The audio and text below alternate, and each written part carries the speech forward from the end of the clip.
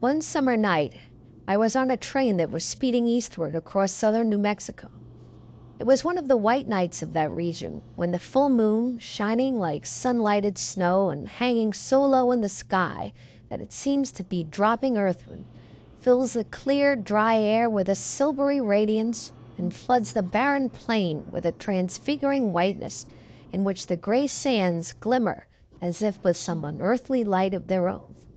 The day had been long, wearisome, and unspeakably hot and dusty, and with the coming of this beautiful night and its cool breezes most of the passengers betook themselves to the car steps and platforms where they lingered until we reached the little town of Separ late in the evening. As the train stopped we saw that apparently the entire population of the village was crowded inside the station house.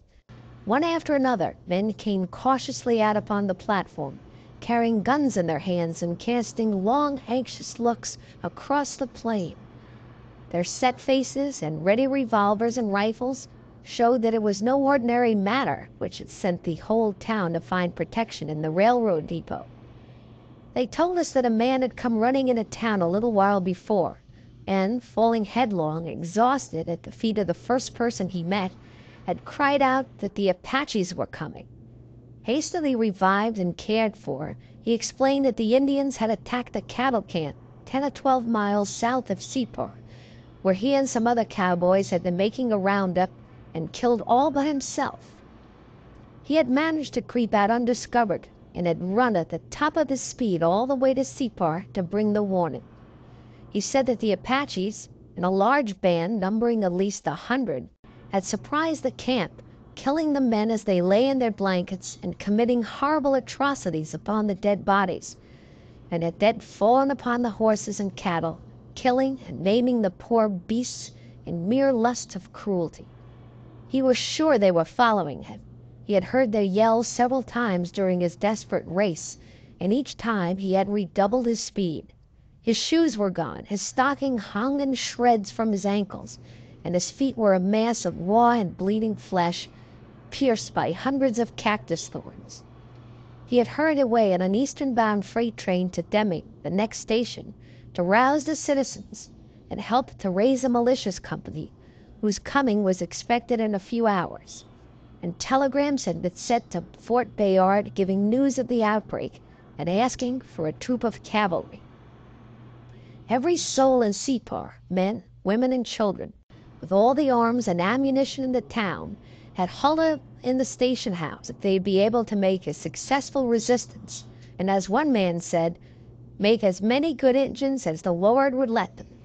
For in those days the hearts of the bravest in the Southwest knew terror, and with good reason, when the Apache went on the warpath. The train sped on into the radiant white night, but the car steps and platforms were deserted. The passengers all sought their berths as soon as possible there to lie below the level of the windows and pile all the pillows they can get between themselves and the side of the car. When we reached Deming we found the place in an uproar. Every bell in town, from the gong of the railroad restaurant to the church bell, was ringing its loudest and wildest. Men in varying degrees of undress were running up and down the streets calling loudly upon all citizens to come out at once.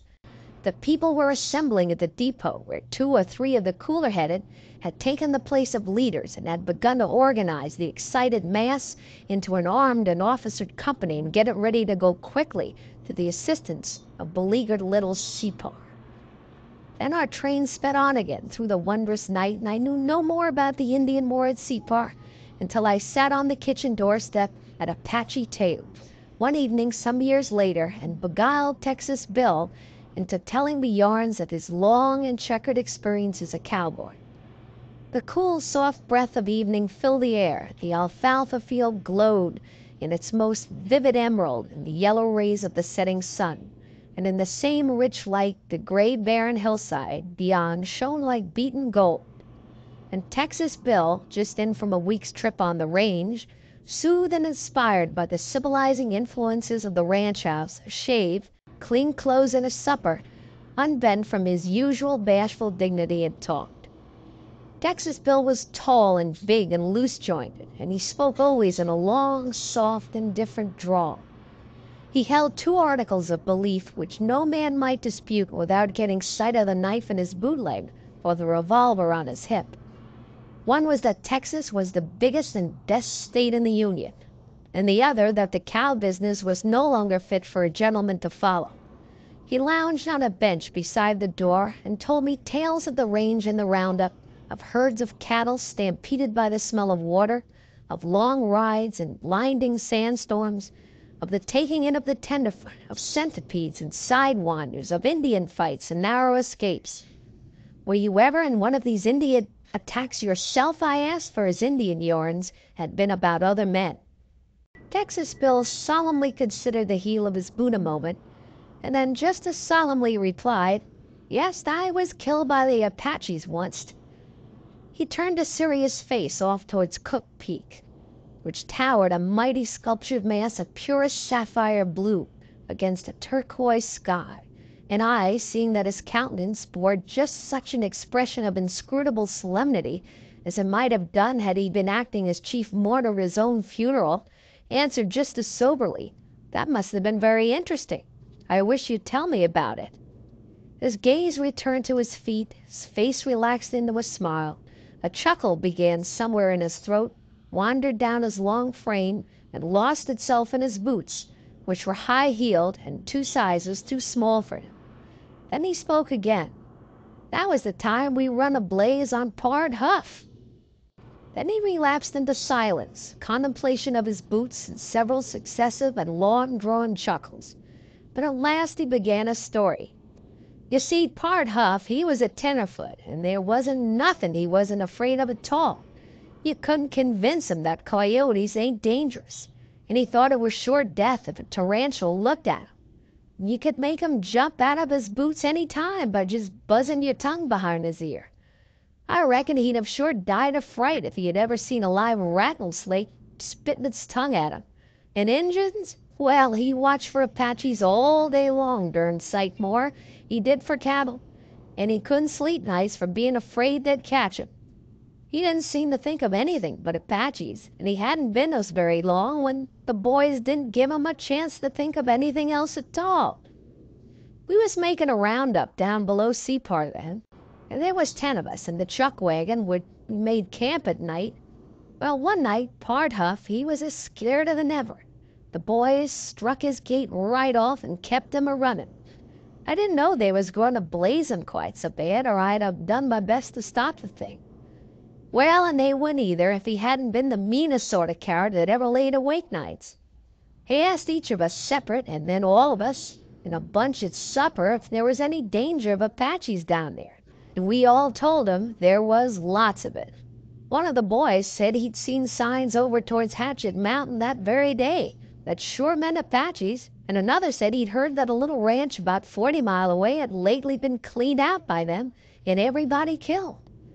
And we all talked about it and agreed they might come on us at any minute, that most likely they'd attack us that very night, and that we ought to get ready for them. Well, sir, that Pard Huff he never said another word. He just set there with his eyes getting bigger and his face whiter every minute. We kep' it up, told stories about the way them devils do, everything we'd ever heard of, how they hold you and pull your tongue out, or cut off your ears, or run a stake through you and pin you to the ground, or smash your face to jelly with a rock, or burn you alive, till Pard Huff didn't know which end he was a standin' on at all. We got our blankets and turned in, but just kep' a talkin' about the Apaches till that Pard Huff he was shakin' as if he had a fit. One of the boys said he'd bet if the Apaches did come, Pard Huff would get his ears cut off the first rattle, because they was so big the Injuns couldn't see nothin' else at all in the camp till they got them out of the way. And then bang, bang, bang went some six shooters. The boys yelled Injuns, Apaches as loud as they could, and the feller on the other side of Pard Huff Pard was layin' next to me yelled out, 'Boys, I'm killed,' says he, and he rolled over on his face and kicked and yelled and groaned.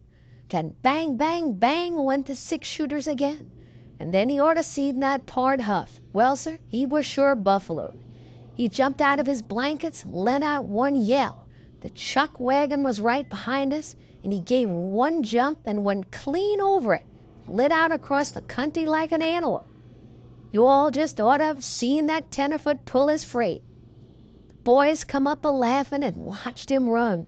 They was a bettin' he wouldn't stop till he got to Apache Tejo, but I said it wasn't right to buffalo him that bad. So we all yelled and called him to come back, but he only run the faster. The durned fool tenderfoot thought it was the Apaches chasin' him. We all thought he'd soon find out there was nothin' wrong at all and come back, and so we went to bed again. But he didn't. The next day I had to come to Apache Tejo, and I found Pard Huff's bloody tracks most all the way to Separ. He'd run right over stones and cactus and prairie dog holes and everything else in his way. And them fool people at Separ was all huddled up in the depot, and a company of men with Winchesters and six shooters was there from Deming, and everybody was watching the country all around with spy glasses for Injuns. Well, sir, that dern fool tenderfoot, that Pard Huff, had told them a fool yarn about Apaches surprisin' our camp, and killin' everybody but him, and they were sure buffaloed. Yes, I said, I know they were. You? How did you know anything about it? Oh, I was there that night. I passed through on the train, and Separ and Deming were the worst scared tons I ever saw. Texas Bill chuckled, pleased at this verification of his story, and went on. Then you know what I'm tellin' you is sure true. I thought maybe you all mightn't believe it at all, for it sure don't look reasonable that folks could get so buffaloed over a durned fool tenderfoot's yarn. They looked at me with mighty big eyes when I rode into Separ. Says they, how did you get out alive? We sure thought you was dead. Well, says I, as far as I know, I'm sure alive, and I don't know as I've been in anything to get out of at all. Why, says that Pard Huff. Oh, says I, damn Pard Huff. He's a tenderfoot and afraid of this shatter. He dreamed about Apaches and jumped up with a yell and lit out for God's sake. We tried to call him back, and he thought it was the Apaches after him. I reckon he scared you all half to death with this yarn. You're as bad as tenderfeet yourselves.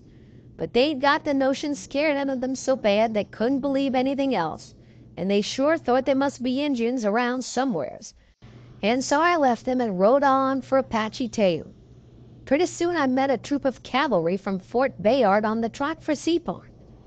The captain rode up to me and says, "Have you been near the scene of the Indian depredations?" "No, sir," says I. "I hain't seen no Indian depredations, nor Injuns neither, this summer." "Humph!" says he. "That's queer." "Yes, sir," says I. "I think likely I heard there's been some trouble with 'em last night down below Separ. But if there's been any Injun depredations I hain't seen 'em at all." And then I rode on, for I hadn't time to be bothered with no more of his questions, and too I reckon likely him and his soldiers needed some exercise. And they got it, too. They just kept on the trot for the Mexican line and kept it goin' for three months. They'd started out for Injuns, and Injuns they was bound to have. They'd jest wound around through all that country south of Separ and over into Old Mexico and back again, up into the mountains and across the plains, and didn't even see the Apache the whole three months. And they didn't find out it was all nothing but a blaze on Pard Huff till they got come back, and I reckon about that time they concluded there ain't no bigger fool on earth than a tenderfoot at all. And there ain't neither. Well, I tell you that Pard Huff was sure mad when we found out we had all been running a blaze on him. I don't know as I'd blame him much, for that ten mile run of his to Separ in rock socked feet over cactus and stones wasn't much of a joke at all. But he was an all fired a fool tenderfoot then, we s'posed, or we wouldn't have done it. End of A Blaze on Pard Huff by Florence Finch Kelly.